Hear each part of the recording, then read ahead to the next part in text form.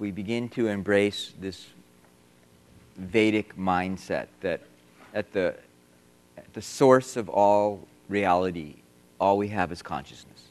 Consciousness then takes on form and phenomenon to give us the experience of the world. Then, as we begin to shift our mindset from the world is material to the world is basically consciousness, what we recognize is that there's a different skill set to fulfill our needs in the world. So, when we believe that the world is material, we get our needs met by force and by effort. you know, that's what Isaac Newton said that, that if you want to change the world, you have to apply a force to it. Force equals mass times acceleration. So, the physical world we influence by forcing and effort. But when we recognize that the world is really a field of energy and information, then we have to we have to awaken a new set of skills. You know, it's really a quantum set of skills. You know, the, you know, the great discoveries of quantum physics say that this, this, even though this looks solid, it's not solid. That's an illusion. It's just the way forces are interacting with each other to give you this illusion of materiality. We pierce through the disguise of matter. We see that it's this vast dimension of energy and information. So, in order to act in a world that is energy and information, we have to master the skill set of attention and intention. Attention and intention. And there's two basic principles in, in Vedanta. One is that whatever we put our attention on expands in our lives whatever we put our attention on becomes bigger in our lives. So that means we want to be very conscious about what are we putting our attention on. You know? So if you're putting your attention on your ex-spouse, that will continue to be expansive in your life. If you put your attention on something that you're fearing, that will expand in your life. That's why, you know, the great conscious beings say, do not use the word not. Because when you're saying, I'm not going to, you know, if you're trying to lose weight, you say, I'm not going to eat that. At a deep level, your mind doesn't know the difference between not and not not.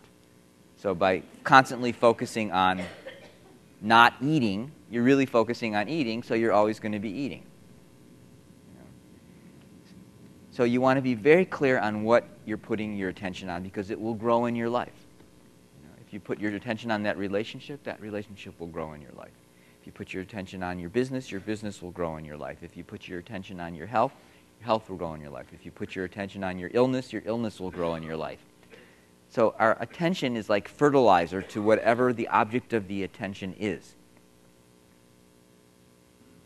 So we want to use our attention consciously. It's a force. It's actually, there, you know, on some levels, there's a battle for our attention.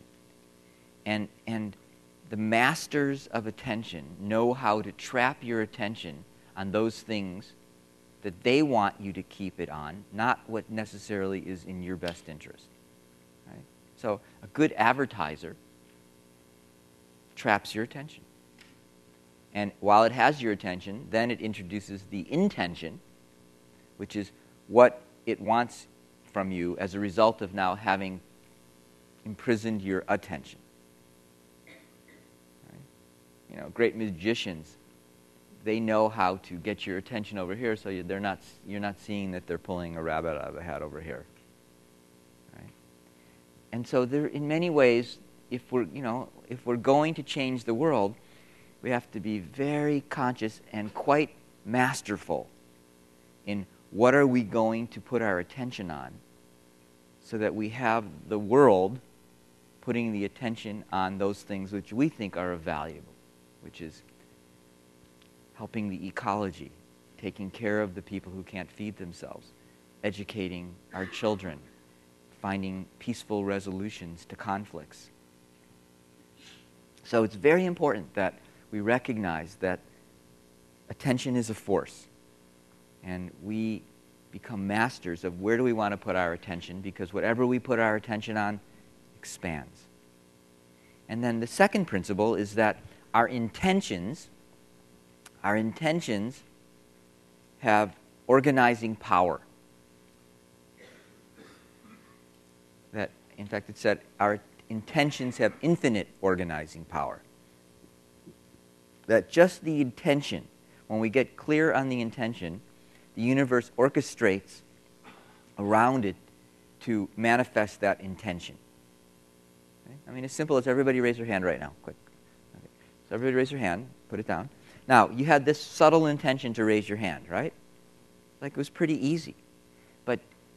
The number of things that were orchestrated around that intention are unfathomable. You know, you had that intention, and somehow that triggered, if you raised your right hand, a series of fluctuations across cell membranes in your, in your um, motor cortex, across these things called Betz cells.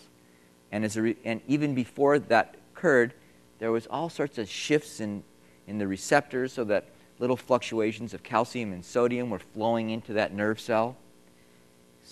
As a result of that simple intention to raise your hand, electrical impulses are flowing down from that nerve cell to your spinal cord. They're forming a synapse. They're releasing acetylcholine floats across the cellular membrane, stimulates another nerve cell in the spinal cord, causing the flow of electricity down this arm. More electrochemicals are be, neurochemicals are being released. It's causing the muscles to contract, actin and myosin to shift past each other, calcium to flow into the cells. Your liver is re- breaking down glycogen and releasing, releasing, sugar. Other cells are going down into your into your into your uh, your core muscles to stabilize you. Other messages are going to the muscles that are opposite the muscles you want to lose, use so that it relaxes. I mean, just, you know, your vestibular organ in your brain is orchestrating so that you don't fall over when you raise your hand. You know, just like an unbelievable number of events were orchestrated with the simple thing is, I want to raise my hand up. You know, thank God we don't have to think about those things. It would be impossible to do anything. So, you know, I, I actually remember Deepak and I were having this discussion when one of my kids started crawling. You know, why did, why did she start crawling? Because there was some toy that was a little bit out of her reach. So, just the intention, I want to be able to reach that toy, orchestrated so many things to get her body to move in order to reach that toy. So our intentions are so powerful.